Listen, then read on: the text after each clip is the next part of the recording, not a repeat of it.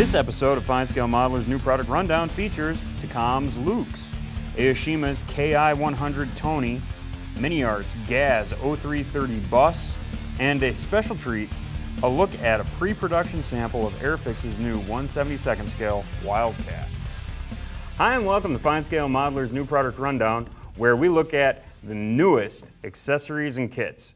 I'm Tim Kidwell. And I'm Aaron Skinner. Let's get started today with Takom's new 135th scale Spähpanzer II. Also known as the Luchs, which is German for lynx, and don't take me to task if I completely murdered that, that uh, pronunciation. In any case, you get the idea. This amphibian entered service with the German Army in 1975.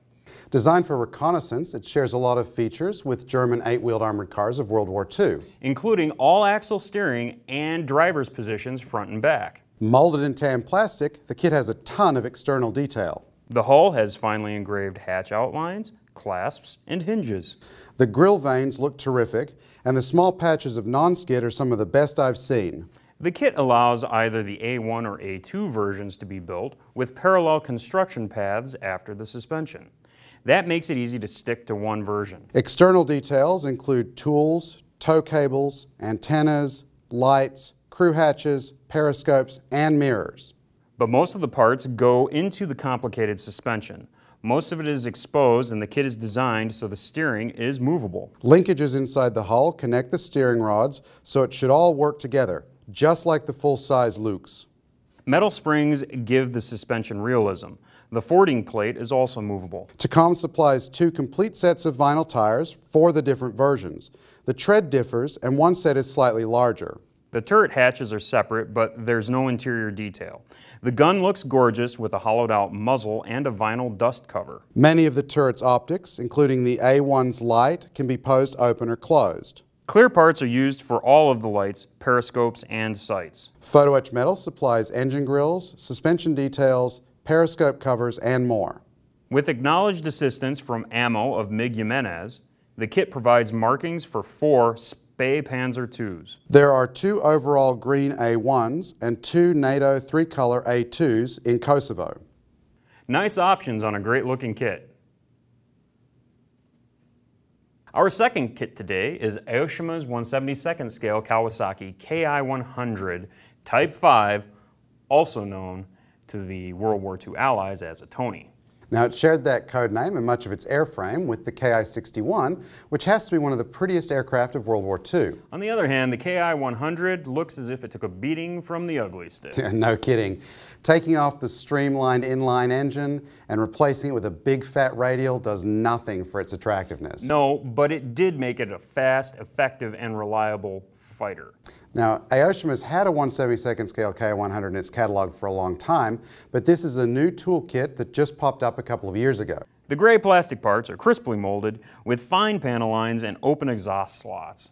Fine parts, like vent lips and actuators, are extremely sharp and close to scale thin, so take care handling them. The cockpit features walls with molded instruments and frames, a two-part seat, controls, gun sight, and the gun breeches. The engine is also a two-piece affair, one for each bank of cylinders, with decent detail.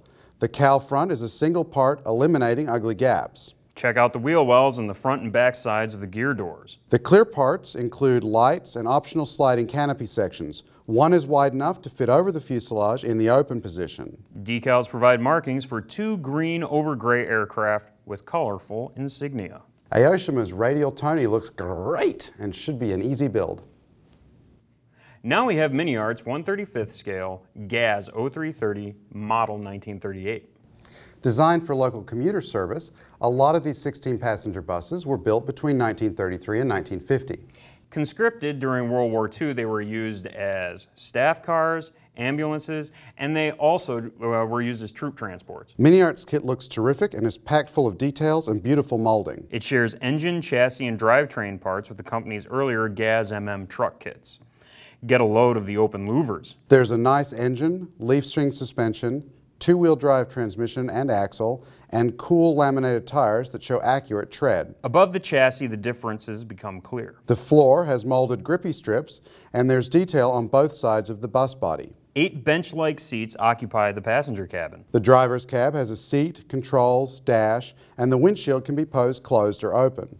Clear parts are provided for the cabin windows, lights, and destination sign. The front and rear passenger doors can be posed open, and there are even dome lights for the ceilings and cranks for the windows. Photo etched brass provides license plates, handles, and windshield brackets. One truly outstanding feature is the provision of markings for 10 buses with color diagrams and callouts by AMMO of MiG Jimenez. Three are captured vehicles in German service, the rest are Soviet. A couple are the same GAZ in civilian and then in military service.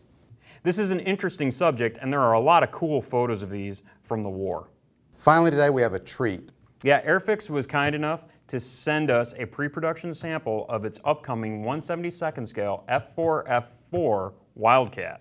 Yeah, they sent us everything but the decals, and we figured y'all might like to take a sneak peek. The kit features a detailed cockpit with a seat, headrest, pedals, controls, and decal instruments. Grumman's unique and complex landing gear builds up from six parts and fits into a bay with a detailed firewall. Get a load of the engine with valve rods and ignition wires molded on. The one-piece cowl's intakes are scale fine. Engraved panel lines and rivets mark the fuselage and wings. Some, like the raised fasteners on the gun covers, are so fine Care will be needed to preserve them during construction. But the big news for Wildcat fans is that this kit features a folded wing straight out of the box. Two complete sets of wings are included. One to model the wings straight, the other folded, so no fighting to align or cut parts. There's detail in the wing openings, and it's engineered for ease and strength of assembly.